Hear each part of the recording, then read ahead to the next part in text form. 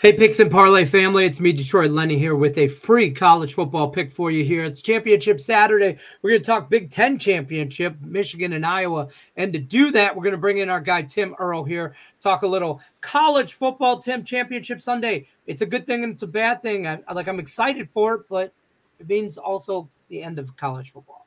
Uh, yeah. Well, slow down. Like, the it's the beginning of the end.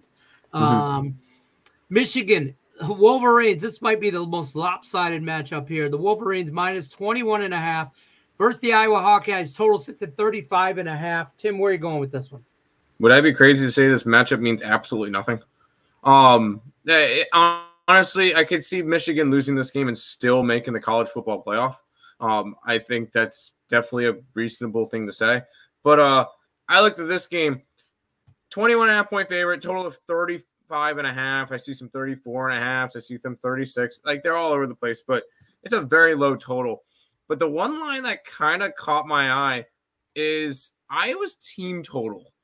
And their team total is six and a half. Um, so they're saying that they're not going to get a touchdown.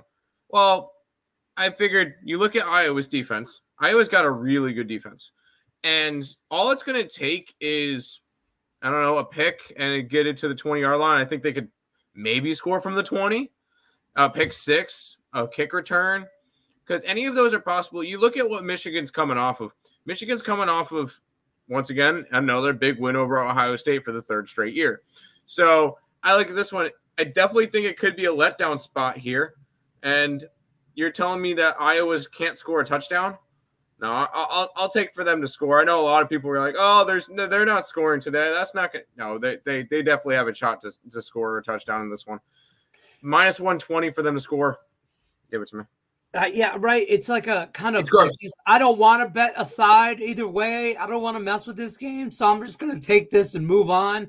Uh, I, in garbage time, you get a touchdown. I kind of like the over in this game too because I could easily see this one being 20 it's also neutral territory like, too 30 31 7 right neutral territory being played in indianapolis so i mean it's not like there's any kind of home field or anything like that nope. this is just a stay healthy move to college football playoffs for michigan correct so, Iowa Michigan total. gets knocked out of the college football playoffs if they get blown out, which oh they will. That's not that's not happening.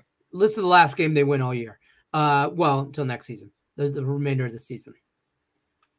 I'm telling you right now. Uh, don't forget, you're looking for more from Tim Earle. Check out picksandparlays.net. Use that promo code right there. You got to go picksandparlays.net slash Tim for all sports, all week, $70 pass. You get all the sports, all, all whole package, $70 right there. But you got to do the dot .net slash Tim at the end of Picks and Parlays so you can get that value. Until then, though, Tim says the Iowa team total over six and a half here, minus 120 is good value. Tim Earle, Earle Sports Bets. I'm Detroit Lenny Picks and Parlays. Happy holidays. Good luck unless you're against